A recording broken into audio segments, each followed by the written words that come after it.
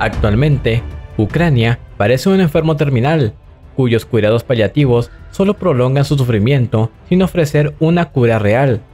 Las soluciones aparentes para su enfermedad son esquivas, y aunque se emplean diversos tratamientos, estos apenas consiguen mantener ilusión de recuperación. De hecho, perpetuar este estado solo beneficia a los actores externos que se alimentan la prolongación del conflicto.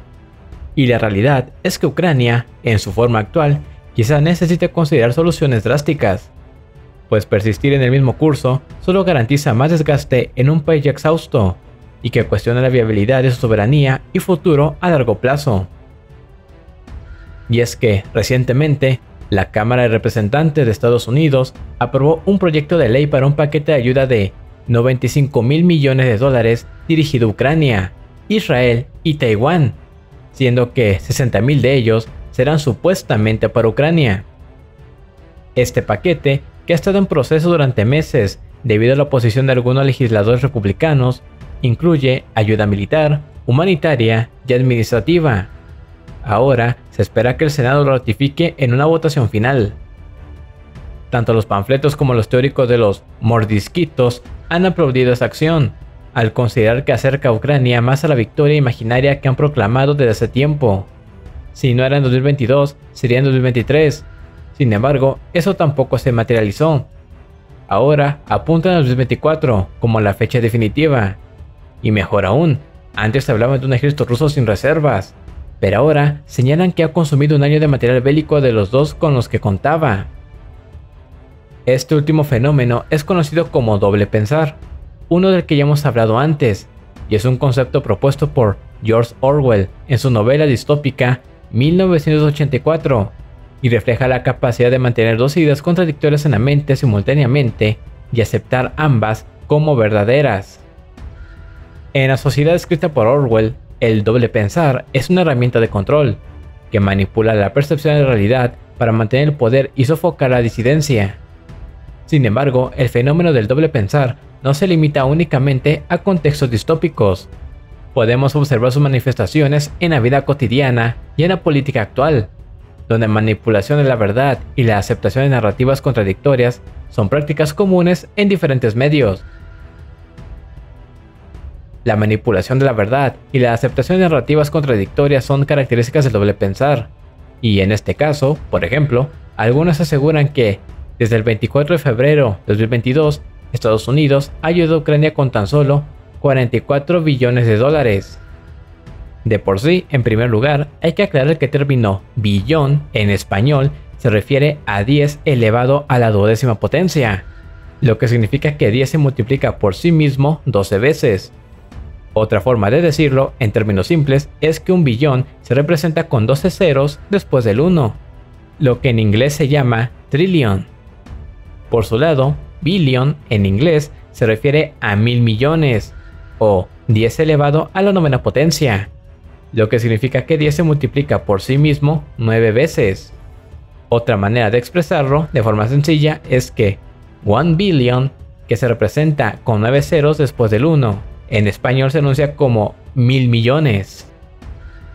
Por eso es que la cifra carece de sentido por sí sola, evidenciando que quien la ofrece no comprende el verdadero valor de los términos que emplea, lo que refleja los postulados de Orwell, donde aceptan y promueven ideas contradictorias simultáneamente. Por un lado, la persona puede estar tratando de dar la impresión de estar proporcionando una cantidad significativa de ayuda, mientras que, por otro lado, demuestra una ignorancia o desprecio hacia la verdad y la precisión de los datos. Además de ello, en segundo lugar, si estuviéramos hablando de billions en inglés o de miles de millones en español, Estados Unidos no ha ofrecido 44 mil millones, pues según el Instituto de Economía Mundial de Kiel, un prestigioso instituto de investigación económica que se enfoca en el estudio de la economía internacional y la política económica global, el compromiso de ayuda militar a Estados Unidos más grande Ucrania fue de 68.072 mil millones de euros o 73.26 mil millones de dólares, tras el proyecto de ley de asignaciones de finales del 22. Estos 68.72 mil millones de euros o 73.26 mil millones de dólares se suman a 88.7 mil millones de euros o 94.55 mil millones de dólares asignados por donantes europeos con los 66.6 mil millones de euros asignados por Estados Unidos. En total, hablamos de que Ucrania, tras el proyecto de ley de asignaciones de finales de 2022, ha recibido 155.3 mil millones de euros o 165.55 mil millones de dólares en ayuda militar, financiera y humanitaria, según el Instituto de Economía Mundial de Kiel. En lo que respecta a la ayuda de Estados Unidos a Ucrania, las estimaciones más conservadoras no bajan de 85 mil millones de dólares en asistencia directa. A esta cantidad se le deben añadir las transferencias en especie, los costos derivados de servicios de inteligencia, el empleo de mercenarios y las ayudas que, aunque parte del presupuesto anual estadounidense, son aprovechadas por las Fuerzas Armadas ucranianas. Además, es importante considerar los contratos de deuda y las transferencias que no son visibles, así como la asistencia que proviene de fuentes privadas y los fondos que circulan a través del mercado negro. Por lo anterior, hablamos que, en el caso de la ayuda ofrecida por Estados Unidos, el nuevo paquete de 60 mil millones no cambiará la balanza a favor de Ucrania. Además, tiene letra pequeña, pues más de un tercio se destinará a reponer los arsenales estadounidenses. El monto total de más de 60 mil millones de dólares, que también se indica en el proyecto de ley de Biden, no cambia. Sin embargo, dentro de esta cantidad hay una cierta redistribución, por así decirlo, que confirma una vez más que los estadounidenses están principalmente detrás de sus intereses, incluidos los financieros, por supuesto. De los 60.750 millones de dólares, el paquete incluye 23.000 millones de dólares para reemplazar armas, arsenales e instalaciones estadounidenses. Más de 11.000 millones de dólares financian operaciones militares estadounidenses en curso en la región, y unos 14.000 millones de dólares ayudarán a Ucrania a comprar sistemas de armas avanzados y otros equipos de defensa. Si creemos en esta alineación, resulta que Ucrania puede obtener aproximadamente unos 12 mil millones de dólares directamente y 14 mil millones de dólares para la compra directa de armamentos. Esta cifra es significativamente menor en comparación con la reportada por Estados Unidos en diciembre de 2022, que superó los 20 mil millones de dólares de acuerdo con el Instituto Kiel. Este monto fue exclusivamente destinado a asuntos militares y no abarca aspectos financieros ni humanitarios. No hace falta decir que no deben albergar ilusiones, pues a pesar de la aprobación del proyecto de ley de asignaciones a fines de 2022, que ya citamos, y que asignó una considerable cantidad de dinero, Ucrania experimentó una derrota en Bakhmut, y además su contraofensiva de verano no tuvo éxito.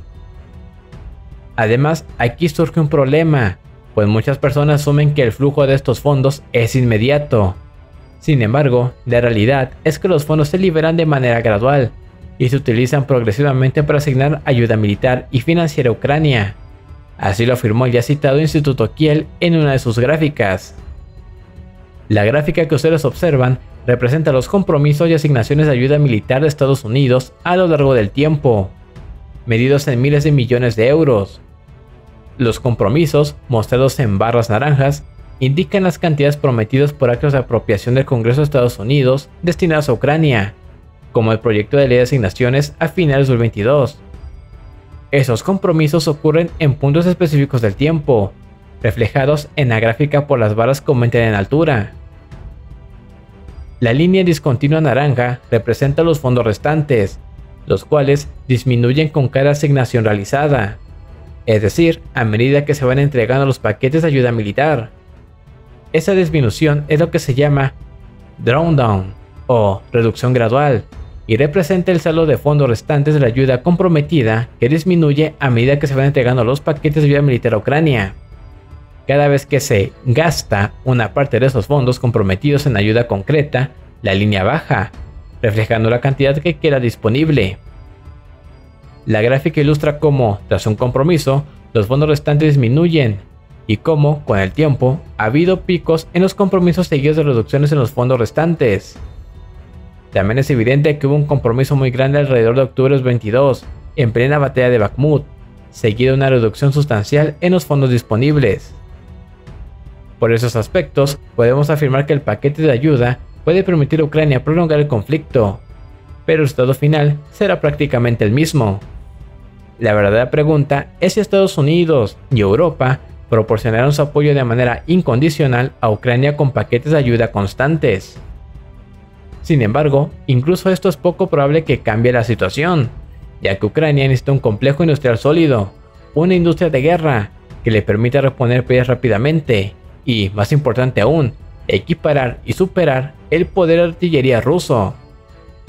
Y habiendo hablado de esto, según se informa que, gracias al paquete de ayuda, funcionarios estadounidenses declararon que Estados Unidos podría enviar casi de inmediato ciertas municiones a Ucrania en instalaciones de almacenamiento estadounidenses en Europa, en particular proyectiles de artillería de 155 milímetros y misiles de defensa aérea que se necesitan con urgencia. Como hemos mencionado hasta el cansancio, si tenemos en cuenta que Ucrania dispara como mínimo 6.000 proyectiles diarios y máximo 8.000, Estamos hablando de que Rusia puede estar disparando entre 42.000 y 56.000 proyectiles diarios como mínimo. En comparación, Estados Unidos produce 28.000 al mes, con miras a producir 57.000 unidades para 2024 y 100.000 para 2025. Pero incluso esta cifra es sobre inalcanzable, y en suma, igualar la producción doméstica rusa es imposible para la OTAN, pues espera que Rusia produzca o recondicione alrededor de 4,5 millones de proyectiles este año, 375 mil proyectiles por mes, según la estimación del Ministerio de Defensa de Estonia. Eso se suma a las municiones que recibe de Corea del Norte e Irán. Surge la pregunta crucial, ¿podrá la OTAN realmente proveer un recurso tan vital? Suponiendo que el financiamiento esté asegurado, queda por resolver cómo se satisfará una demanda que parece insuperable. Esta situación plantea un dilema importante que debe evaluar no solo la disponibilidad de recursos, sino también la capacidad logística y técnica para satisfacer las necesidades urgentes en un contexto de conflicto continuo. ¿Están las estructuras existentes preparadas para una demanda tan elevada y constante como lo es la artillería? Según el Instituto para el Estudio de la Guerra, estos requisitos y la logística de transporte de material estadounidense a la línea de frente de Ucrania probablemente significarán que la nueva asistencia estadounidense no comenzará a afectar la situación en la línea de frente hasta dentro de varias semanas. Por lo tanto, es probable que la situación en primera línea continúe deteriorándose durante este tiempo, particularmente si las fuerzas rusas aumentan sus ataques para aprovechar la ventana limitada antes de la llegada de nueva ayuda estadounidense. Las fuerzas ucranianas pueden sufrir severos reveses adicionales en las próximas semanas mientras esperan la asistencia de seguridad estadounidense que permitirá a Ucrania estabilizar el frente. Pero probablemente podrán mitigar la actual ofensiva rusa, suponiendo que la asistencia estadounidense reanudada llegue pronto. A pesar de esto, lo que sugieren los ejemplos históricos observados en esta guerra, como en la batalla de Bakhmut, es que no podrá ser exactamente así, y es posible que Ucrania ya no tenga muchas opciones disponibles. Sin embargo, todo indica que el conflicto podría no concluir este año y posiblemente se prolongue durante otros dos años más, con el riesgo de que Ucrania se fragmente cada vez más. Eso sí, quizás esto sea un empujón moral para Ucrania, pues la confianza absoluta en Occidente y una victoria definitiva se ha desvanecido, y una porción creciente de la población se cuestiona si vale la pena luchar hasta alcanzar una victoria final, considerando el tiempo, los recursos y el sufrimiento que esto implica. Como señala Político, en ciudades situadas a cientos de kilómetros del frente han desaparecido las multitudes de jóvenes que se alistaban en el ejército en los primeros meses de la guerra. Hoy, los potenciales reclutas evitan reclutamiento y prefieren pasar las tardes en clubes nocturnos. Muchos han abandonado el país. Este breve pasaje destaca dos aspectos importantes la huida del país para evitar reclutamiento y el retorno a la vida cotidiana. Ambos reflejan una falta de voluntad para luchar en el frente.